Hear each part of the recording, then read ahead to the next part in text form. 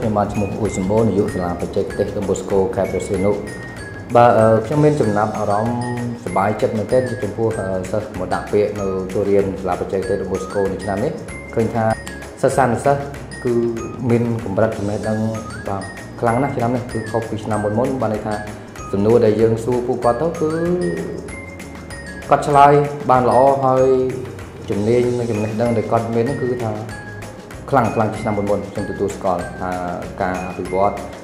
នៃការបណ្ដុះបណ្ដាលពីថ្នាក់វិទ្យាល័យគឺថាល្អប្រសើរជាងមុនបាទ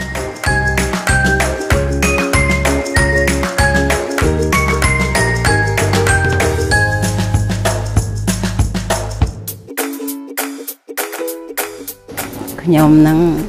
ចង់ឲ្យកូនមករៀននៅសាលាដុននេះ ឲ្យកូនបានចំណេះដឹងបានមានអនាគតល្អ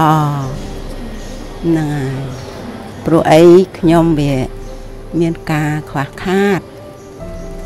ឥឡូវហ្នឹងវាចង់ឲ្យកូនចេះដឹងឲ្យកូនហ្នឹងមានអនាគតទៅមុខល្អកុំឲ្យដូចម៉ែចា៎